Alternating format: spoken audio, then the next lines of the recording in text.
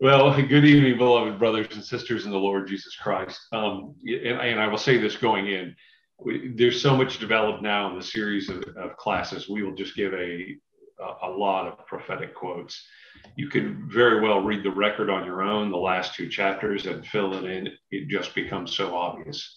Um, but as we like to do sometimes, start with a principle and a quote regarding that, where the Apostle Paul says, and this is even the Apostle Paul, let alone brethren of our community today, and not that we would have dominion over your faith, but helpers of your joy. For by faith ye stand. And you know what he says in 1 Corinthians 2 I come nothing more than expounding the word. and it's to that authority that we seek. Um, and my emphasis here is a little bit different, but uh, I use a lot of quotes from our pioneer brethren. It's interesting. This is one of the quotes I get requested of for brethren to send the most because of what it says.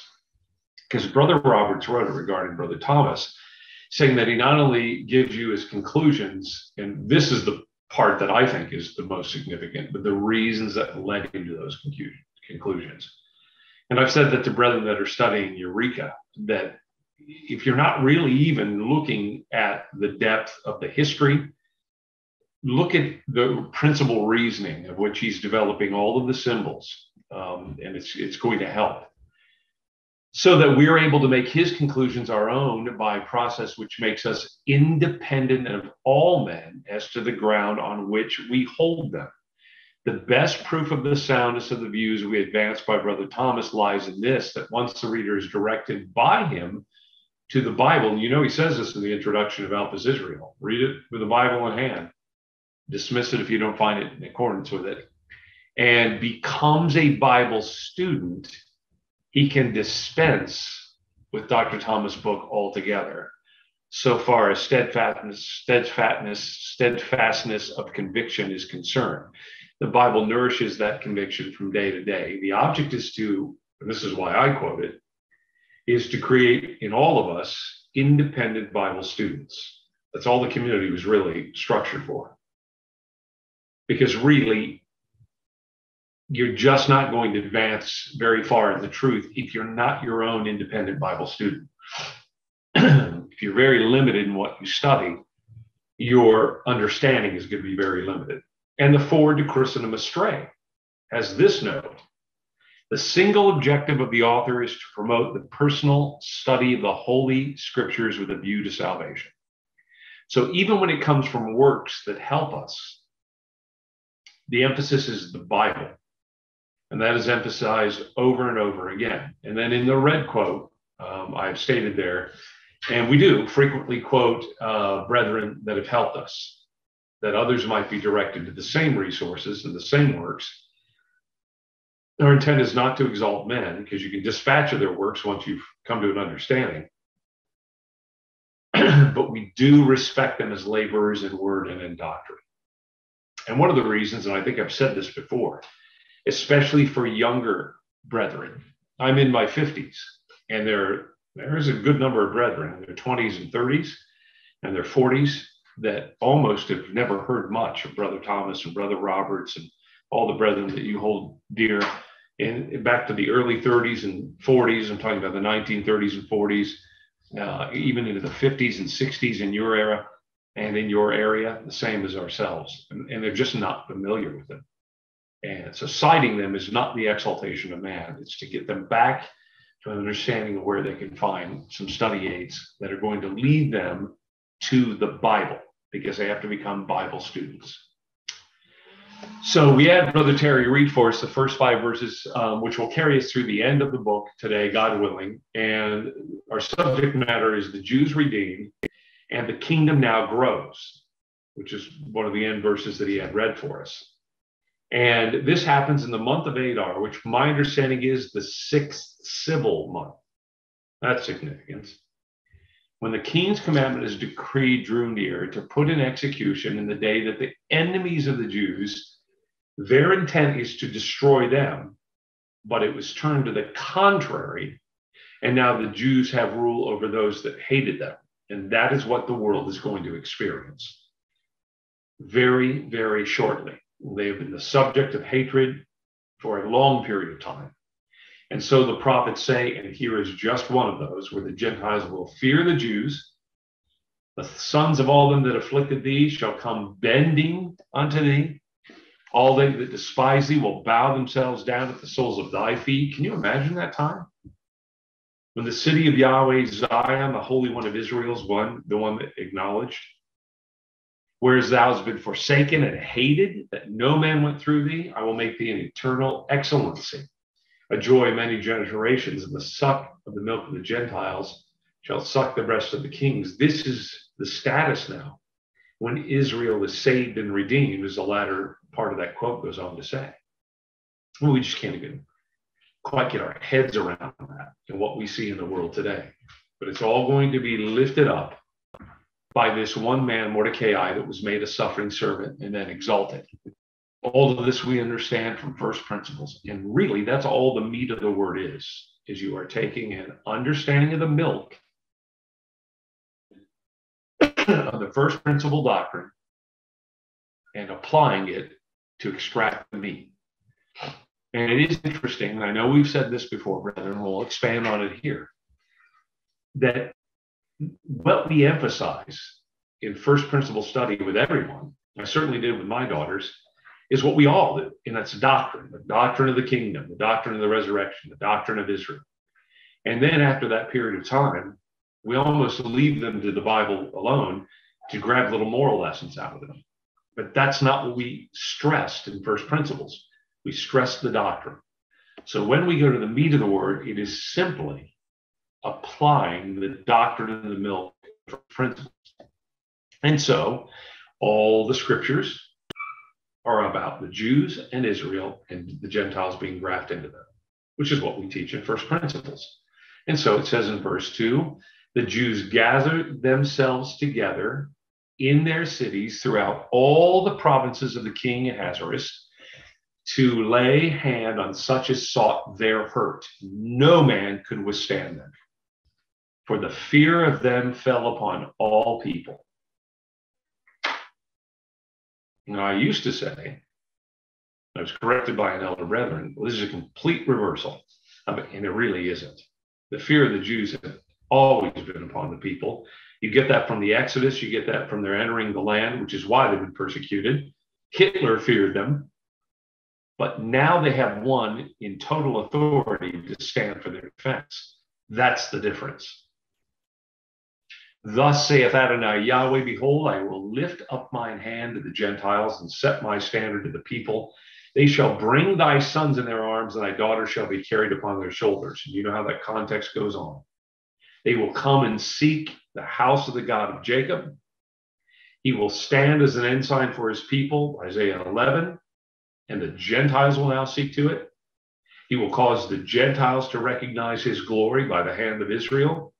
And so that many people of the nation, Zechariah 8, these are all quotes from we are familiar with, will take hold of the skirt of him that is a Jew because they now know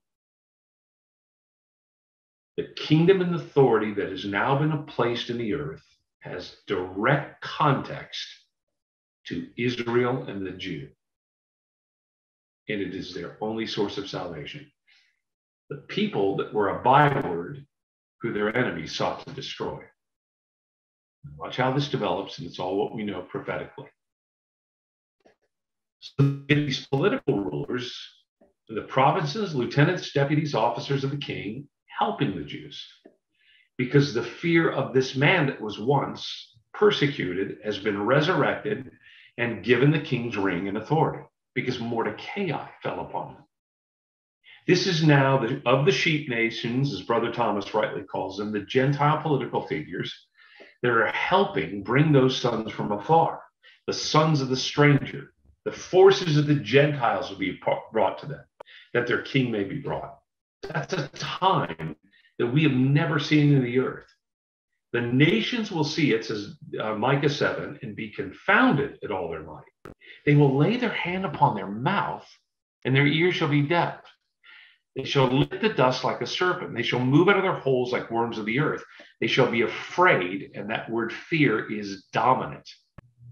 It's used three times in Esther, especially in these latter chapters.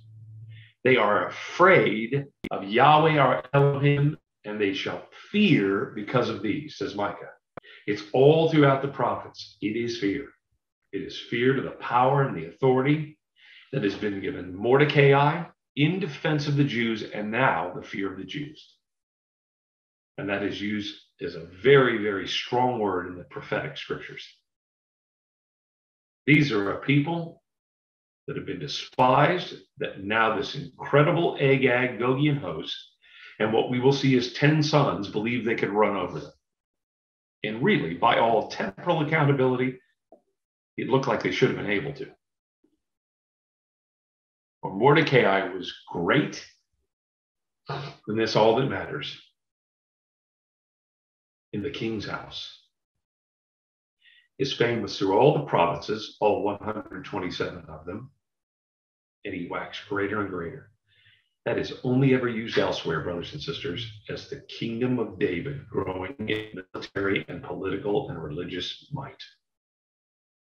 It appears in 1 Chronicles 11, verse 9.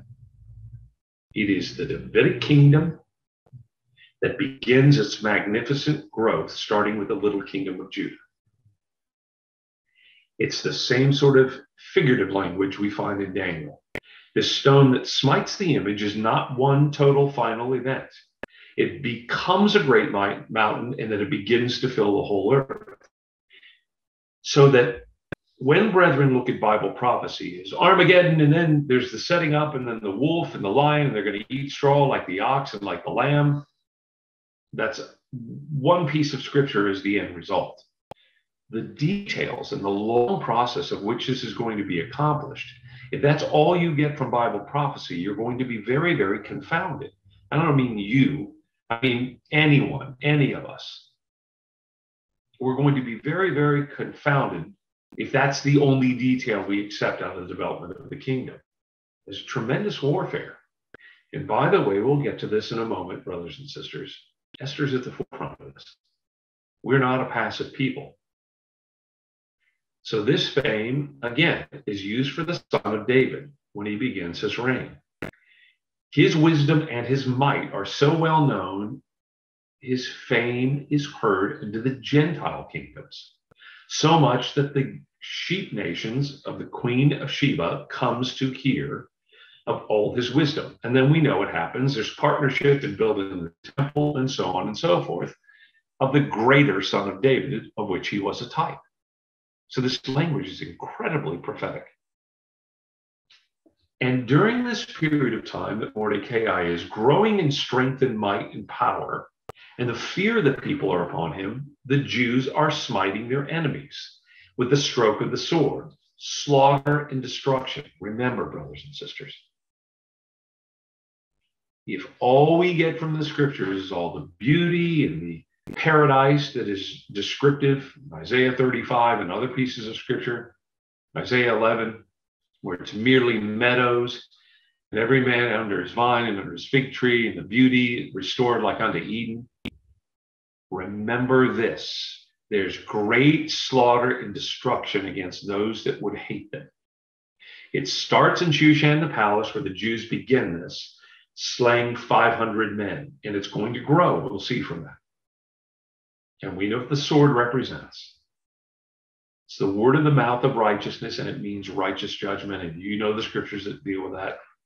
And all the Jews that hated him, it's Agag Gog, and all those affected by his influence. So it's this roaring forth that begins in the capital city, but then it develops after that. When Judah, says Zechariah 14, will fight at Jerusalem. And Yahweh will seek to destroy all the nations that come against Jerusalem. And this is just the few first few verses that Brother Terry had read for us. Look at the development, and it's not hard. Well, now look what happens.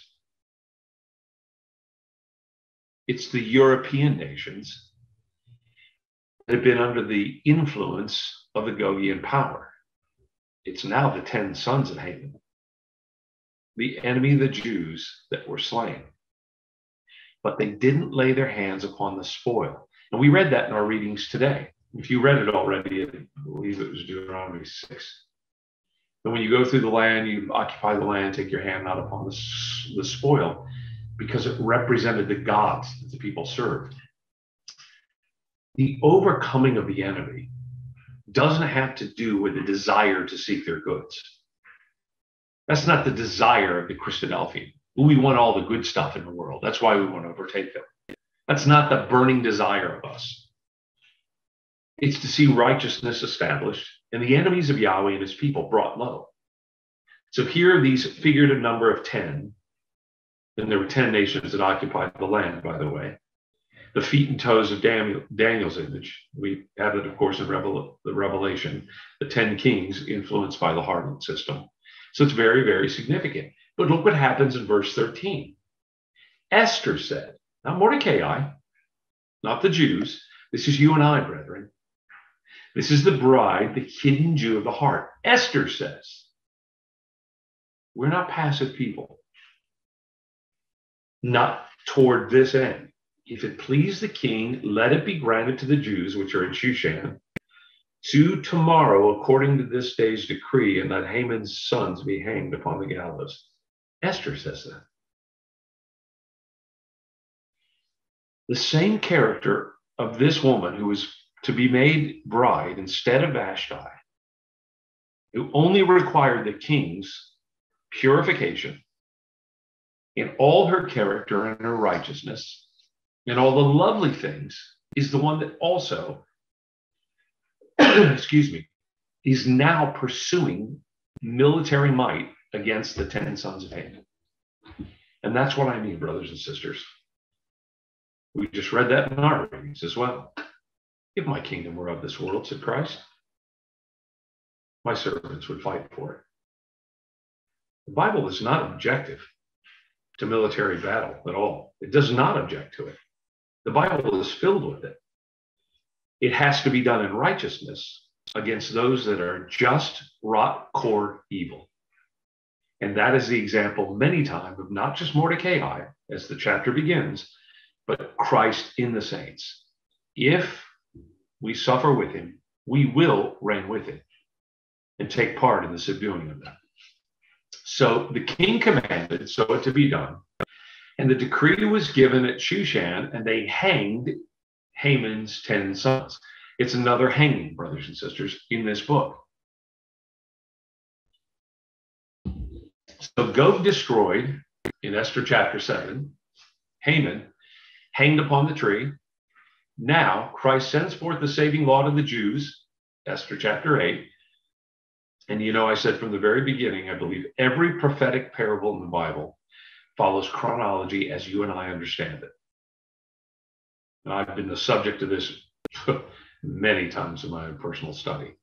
So I would suggest to you when you're developing something in study and it doesn't seem to make sense, sit back, digest it, go over and over it again.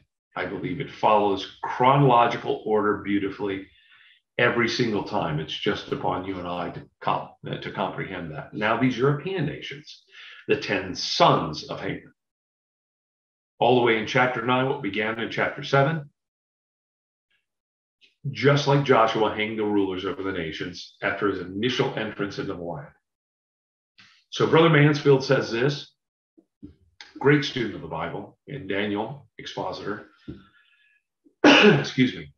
Following the destruction of the Gogian Confederacy at Armageddon, the Catholic countries of Europe, the wilderness, right, will regroup under the beast, 10 kings, will prepare to resist the demands and ultimatum of the king in Jerusalem, who's already brought down Gog in Armageddon. But without waiting for them to attack, hang on just a second. I think I cite this. Um, brethren, if you don't have this book, it's called Events Subsequent to the Return of Christ. It's by Jim Cowie. You can get a PDF version of it um, all over the internet. Many brethren have posted it. It's called Events Subsequent to the Return of Christ. when Christ returns, the chronological events subsequent of what happens in the process of time. We're just finishing this up in our ecclesia for our midweek Bible study. It's very, very good. Just in case I forget to mention that, I know that kind of interrupted Brother Mansfield's quote with that statement. Where was I? Ah, prepared to resist the demands and ultimatum uh, of the king in Jerusalem. That's Mordecai, the one given the authority in the king by the king. Without waiting for them to attack, he will invade their territories without waiting for them to attack. He will invade their territories and so rebuke strong nations afar off. In this work of conquest, he will use Israel after the flesh, officered by Esther. She's the one that makes this request by the saints. And so reformed into a new sharp threshing instrument designed to thresh the nations. Thus, the dragon headed by Russia will be overthrown as a political force, but it will not end the opposition to the reign of Christ. Also, this is Brother Mansfield again, H.P. Mansfield the expositor. But will not end the opposition. A European confederacy of the Catholic countries, there is the 10 sons of Haman. The apocalyptic beast will oppose the rising power of Israel and Israel in Israel under Christ and make war with the Lamb. Christ, however, will take the initiative and he will rebuke the, the nations, strong nations afar off. He will take the initiative. Esther doesn't wait for it. She knows there's still a decree that has gone forth. There's still hatred and a devise among the people to destroy the Jews. She takes initiative. This is following Haman when he is brought down in Esther chapter 7. Mordecai is lifted up, and many people of the land become Jews, and the Jews recognize him. Now, Esther chapter 9, Esther, with those restored Jews in Shushan, begins the offensive. He will again, quotes Micah 4 3, rebuke strong nations afar off. His army will move against Catholic Europe and bring it into subjection as predicted in Revelation 19. And I mentioned to this to people in the world, in the workplace, all the time. They say, well, you know, the United States is a Christian country. I mean, it isn't so much. You, you know what we all know what we mean by that, but we know how they quote it. And I always am quick to correct them. And I say, yes, I'm not disagreeing with that, but I want to clarify that. It's like Britain. It is a Protestant country. You could not be elected to the Supreme Court. You really could not get political position until John F. Kennedy. You could not be president if you were Catholic in this country. It was a Protestant country. So that's different, brothers and sisters. And so Micah talks about this time where they seek the house of the God of Jacob, and of course, he will make Israel, the latter part of the quote, the first dominion in the kingdom. Israel will be the first dominion, the little kingdom of Judah. As Christ reigned first in Judah, and then all of Israel is brought unto him. And that same pattern, by the way, is in Joseph, which God willing will pick up in course of time, where Joseph reveals himself to Judah but he still has to retrieve Israel, his father, who's outside the land. So there are two phases of that restoration. It's the same thing here, of course. For the Jews that were in Shushan gathered themselves together, 14th day in the month of Adar, and slew again 300 men at Shushan.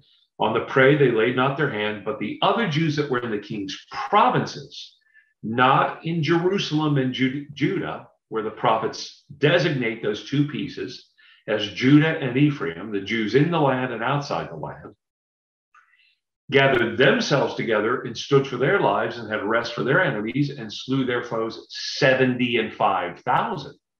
It's a significantly higher number. But they, again, laid not their hands on the prey. So it, here's the two phases of it again, brothers and sisters. They're unified by an enemy and they're unified by a king. They have a common king that they will be brought together as one stick in the hands, Ezekiel 37, of course. Be brought together as one stick in his hand, and they have a common enemy. There are nations and a multitude, a majority of them, that do not want to see them established as a nation with this sort of might. And so the prophets say, I have bent Judah and filled the bow with Ephraim.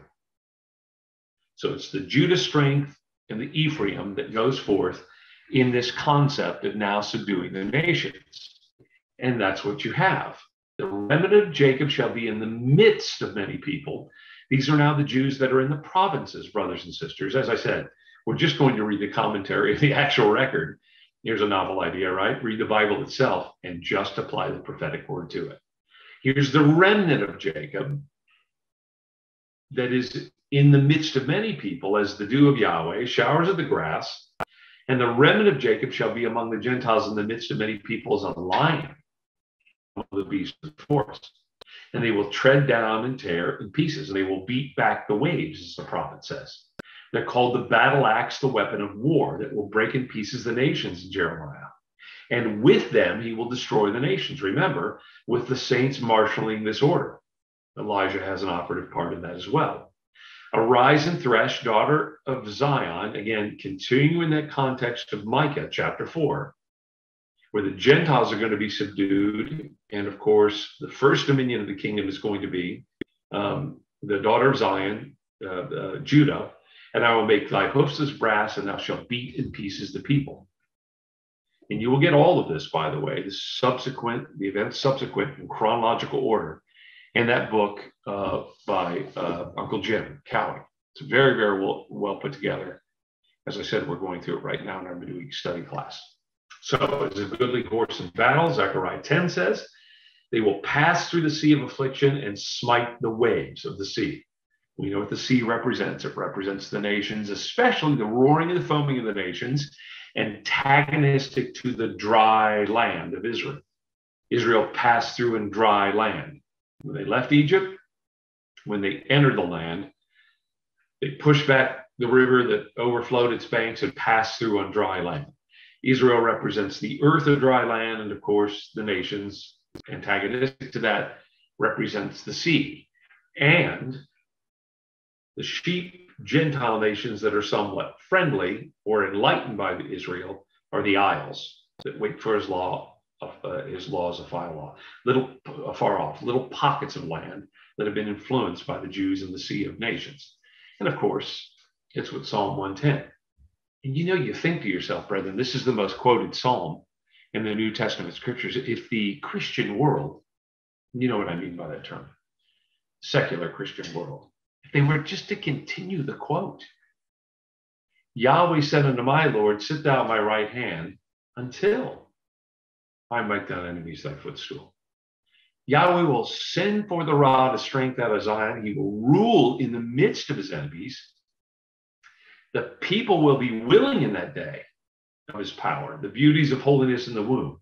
Yahweh at thy right hand to strike through the kings of the day of his wrath. But that doesn't agree with what they like because they like to be involved in temporal things and politics. He will judge among the heathen, that is, every nation that is not Jewish.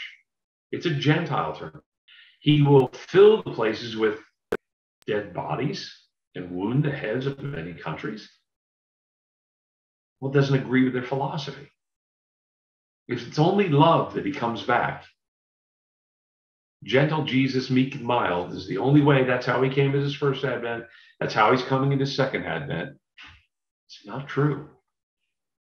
And even Christadelphians that only slice the part of prophecy that speaks of that beauty, which is true, but it only addresses that portion, they really are not addressing the overwhelming majority of Bible prophecy that deals with what we're addressing today.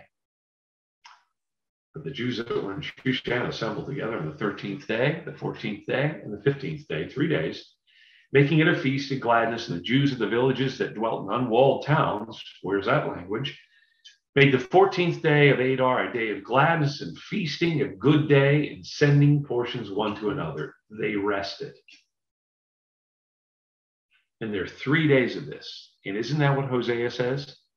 First and second day, the third day, we will be lifted up and we'll live in his sight.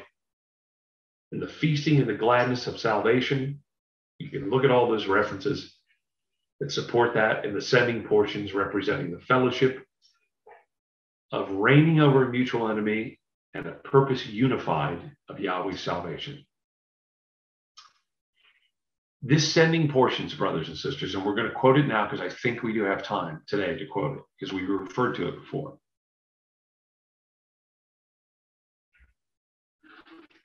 This is used in Nehemiah chapter 8. Nehemiah, the king's cupbearer, goes away, comes back again. You will see the type there. And we've referred to this chapter before, and we're going to cite it.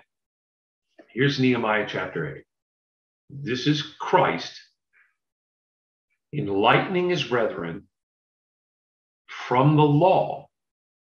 He testified of all things the law, the prophets and psalms concerning himself, and he turned the sin and death and condemnation of the law into redemption and atonement. All the people gathered themselves together as one man into Christ, into the street that was before the water gate. It's the word. They spake to Ezra the scribe to bring the book of the law of Moses. Here's the law of Moses, which Yahweh commanded Israel. As the priest brought the law before the congregation of men and women, all that could understand, the first day of the seventh month, significant. He read therein before the street that was before the water gate, the water of the word, from morning until the midday, before the men and women, those that could understand and the ears of the people now are attentive to hear the book of the law.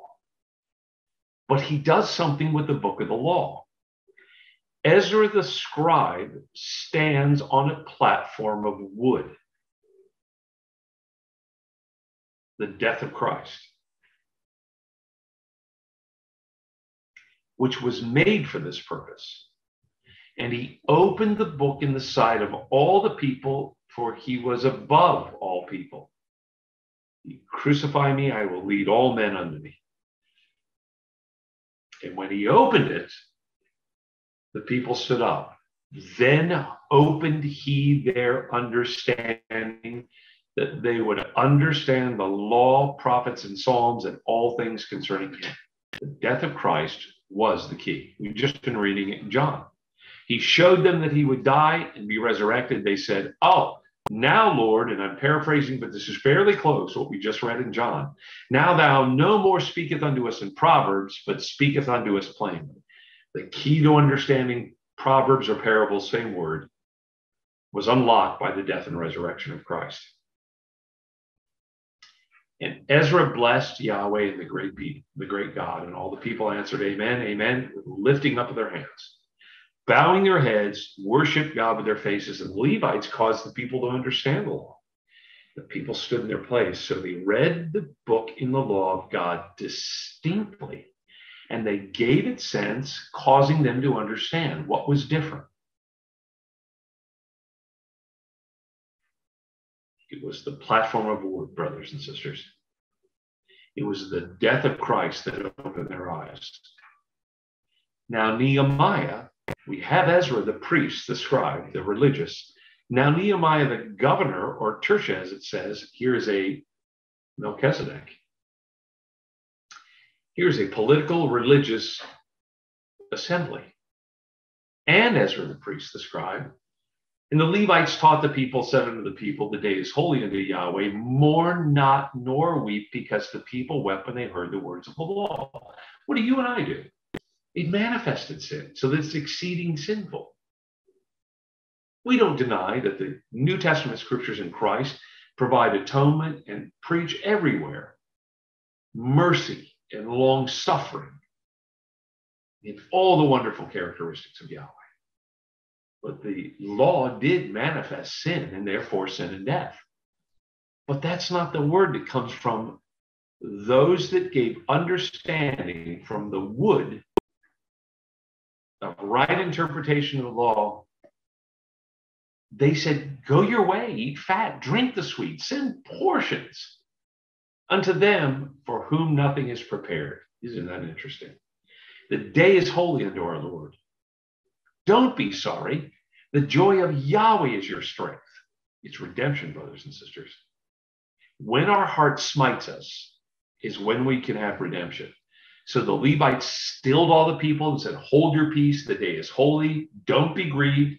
All the people went their way, eating and drinking and sending portions, and made a great mirth and celebration because they understood the words that were declared unto them. You have to understand Christ in the law and prophets and Psalms. It's the key so that when the heart smites us, we understand now what was provided, how it was provided, and by what means and when it was provided. And so that atonement is made. Mordecai, here's the writing of the new covenant, wrote these things and sent letters to all Jews in all the provinces both nigh and far, to establish this among them that they should keep the 14th month of Adar, I'm sorry, the 14th day in the month of Adar, and the 15th day of the same. It's not according to the law that was written when they came out of Egypt by the hand of Moses, but it's the new covenant for the house of Israel that I write in their inward parts and in their hearts I will be their God and they will be my people. It's the writing now that is by now the hand of this Redeemer, Mordecai. now gone unto the Jews. As the days wherein the Jews rested from their enemies on the month which was turned from them from sorrow to joy, from mourning to a good day, they made it a day of feasting and joy and sending portions one to another and gifts to the poor. This is fellowship. This is now looking to Abraham, your father, and Sarah that bare you when Yahweh has comforted Zion and joy and gladness is found therein. And they've rested. And that period is striking in the Bible, brothers and sisters. It is a time that is used in reference in Hebrews chapter 4 check me on this if you'd like. Hebrews chapter 4, verses 1 through 11, where it's talking about the literal creation and resting on the seventh day. And then it immediately injects the insertion of Joshua inheriting the land, which Moses could not bring them into inheritance, and speaks of Joshua's inheritance as the seventh day Sabbath rest. It's talking about an inheritance of the land, that great day of rest that was prophesied in Genesis chapter 2. After the six days of work, I think I've already mentioned, according to what we know, this month of Adar is the sixth month of the civil calendar. And so the Jews undertook to do as they had begun. As Mordecai had written, because Haman, son of Hammedatha, the Agagite, enemies Jews, had devised against the Jews to destroy, casting Pur and Lot to consume them. And when Esther came before the king, she commanded by letters that this wicked device, which was devised against them, would be returned upon their own heads. He and his sons to be hanged in the gallows, and they called it the days of Purim after the name of Purim. We've already talked about this, brothers and sisters. Purim is not something written in the law. It is a new law that is written that came during the period of the silver kingdom of the Medo Persians that brought down Babylon. It's a new law. The Jews ordained and took upon them, upon their seed, and upon all that joined themselves unto them. Zechariah says that many nations will be joined unto Yahweh in that day. Scriptures we've already looked at. Many of the people of the land became Jews. They are embracing, taking the hold of the skirt of him that is Jew. Let's go up to the house of the God of Jacob. Not only politically, religiously, the nations are being corrected, brothers and sisters. And according to their appointed time every year, it's an annual thing like the Feast of Tabernacles as we have in Zechariah 14, it has got to be acknowledged. These days should be remembered, kept throughout every generation, every family, every province. It is something that begins in the household that also has a nation application. That the days of Purim that should not fail from among the Jews, nor the memorial, memorial of them perish and their seed. It's a very significant time, brothers and sisters. It's a total conversion of people that were once stiff necked that will lead to the, of course, the correction of all the nations of the Gentiles. What a significant time this will be. And as we've talked about before, no need to quote this. When the inhabitants of the world will learn righteousness, we've already talked about the many people in the lands becoming Jews. So Esther the queen, the daughter of the father of might, and Mordecai the Jew. It's saints ruling with Christ.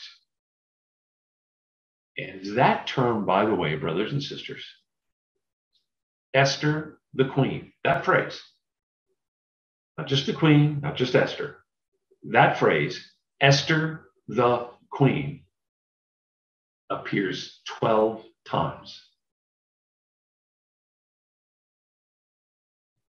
Here's the Israel of God. She writes with all authority. She confirms the second letter, and the letter is sent to all the Jews in the Abrahamic Sarah, Sarah provinces of 127 in the kingdom with the words of peace and truth. Isn't that remarkable? It's the Jews being grafted now back in to their own natural root, the Abrahamic. We looked at how Esther began with that phrase, deliberately telling us it was 127 provinces. And that is number that is only used elsewhere for Sarah, not Hagar, the Jew that was born under the law of Hagar the Egyptian, which represented the old covenant. But it's 127 used in this place, which appears three times in Esther. It's the covenant number. It's the Jews being grafted back in to the Abrahamic Sarah root that they've embraced. And peace and truth go forth. And you know what peace and truth means. Jeremiah 33 tells us it's when he'll cause the captivity of Judah and the captivity of Israel to return. And peace and truth, as we've talked about in other references, cannot be achieved unless there is purity. It is first pure, then it is peaceable. Melchizedek is pure first, the king of righteousness, and it says that first, the king of righteousness. After that, I'm quoting, the king of Salem, which is the king of peace. First righteousness, then peace. Was it not with Jezebel? How can there be peace as long as the whoredoms of thy mother Jezebel and her witchcrafts continue. We cannot ignore the detailed process to achieve this. We cannot speak lightness of the prophetic word. Well, it's all just about a beautified earth. When the all the curse of the earth has been lifted and the beauty has gone forth, and it's nothing but sunshine, and that is a description of the kingdom but it has a very detailed development working toward that end. And so we make our way in chapter 10, and brother, we could just read the chapter with no commentary. It is so clearly what we embrace as truth. So King Ahasuerus lays a tribute upon all the land, as, Christ, as Solomon did, by the way, and Christ will do at his return upon the isles of the sea. And the purpose of that, like David when he subdued the nations, built up a financial stockpile of all the metals for the temple building. It says the kings of Tarshish and the isles, and here it is, the isles of the sea, will bring presents. The king of Sheba, and Sheba will offer gifts, and they will fall down before him, and all nations will serve him. The abundance of the sea, says Isaiah 40, and you will know your margin says, will be converted, and the wealth of the Gentiles will come into thee. And again, you get that in the Son of David's, in its first application with Solomon, and certainly with Christ in its prophetic parable fulfillment. But Solomon did that, where the wealth of the Gentiles was used to build the temple, the place of worship. And the isles don't just mean the Gentiles, but generally those that are considerate of the Jews and align themselves with the hope of Israel. In all the acts of his power and his might and the declaration of the greatness of Esther. Is that what it says, brothers and sisters?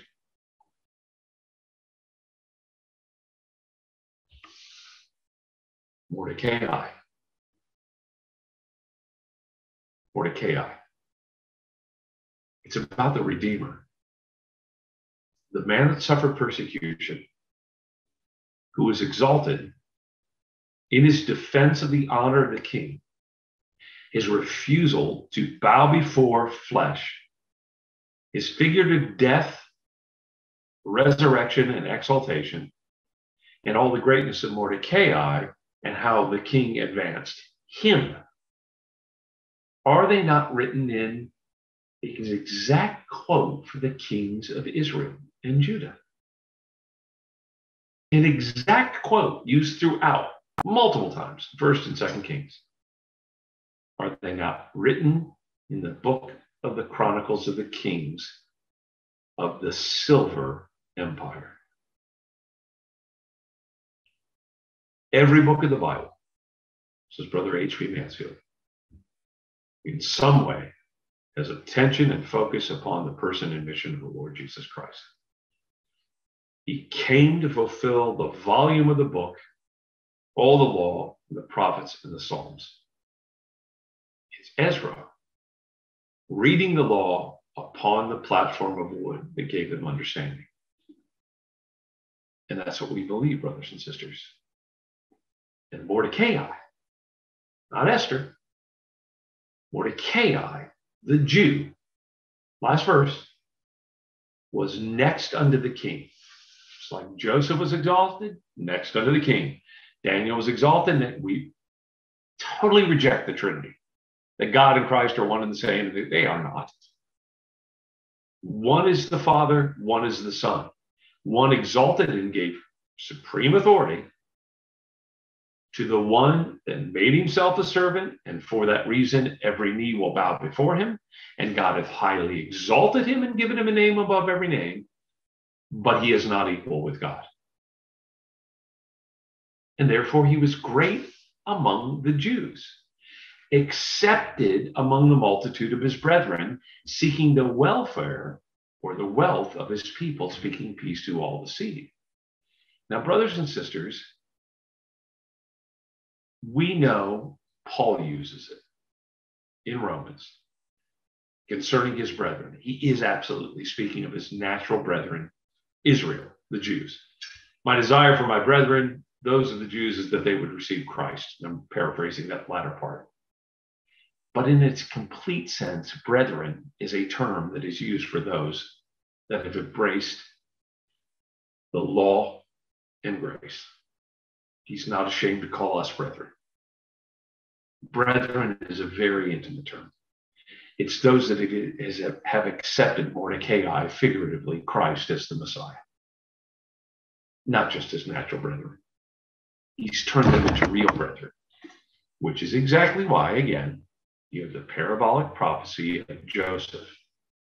His natural brethren put him to death. In reconciliation, he embraces them as brethren after his crucifixion and resurrection.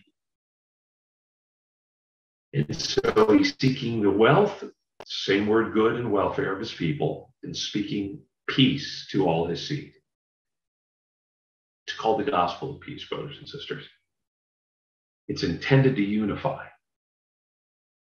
They'll have one shepherd, even my servant David. Why David? Because the Davidic covenant promised a man that would come And David's kingdom, in literal action, was also a prophetic parable of one that would come and begin his reign in the little kingdom of Judah and then ultimately bring the restoration of his brethren. He would establish a kingdom by shedding much blood and then subdue the nations and dedicate their wealth for the building up of the temple of Yahweh so that his death, 1 Kings chapter 1, would result in him rising out of the deathbed and appointing Solomon king to establish his kingdom as a continuous reign over all of Israel. And with them, he says, I will make a covenant of peace and I will cause evil beasts to cease out of the land. You know, that represents the carnivorous Gentile nations.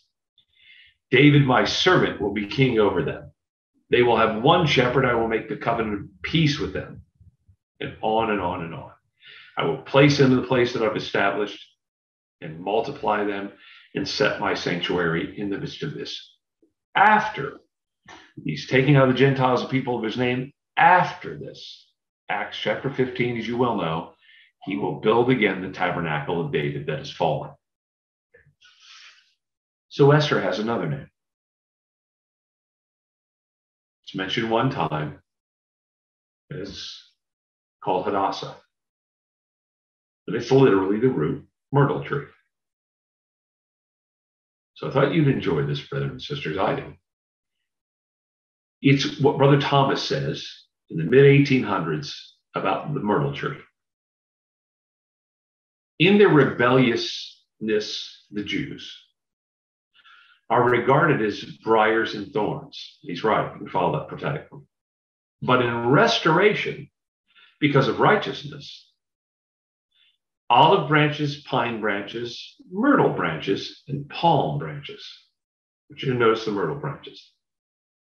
When therefore it is prophesied in Isaiah 55, instead of the thorn will come up the fir tree, and instead of the briar, the myrtle tree, it shall be to Jehovah for a name, for an aeon memorial, thou shalt not be cut off. And again, of course, in chapter 41, I will plant in the wilderness the cedar, the shittim tree, the myrtle tree, and the olive tree. I will set in the desert the fir tree, the pine, and the box tree together. They shall see and know and consider and understand together. So they were supposed to look at these trees and comprehend what they meant. That the hand of Yahweh, Jehovah, hath done this. The Holy One of Israel hath created it. When these things are declared, it not only imports that the land previously desolate has now become like the land of Eden, the garden of Yahweh, but that the inhabitants in the Messiah's Olam, the period of the millennial aeon, shall be trees of righteousness, the planting of Yahweh, that he might be glorified. Hold that. So I looked into this.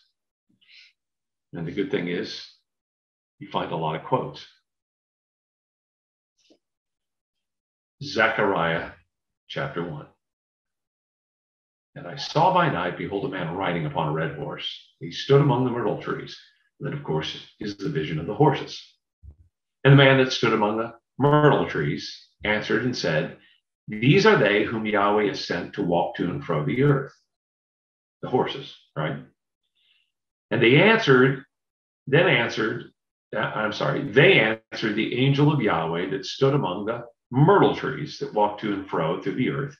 Behold, all the earth sitteth still and is at rest.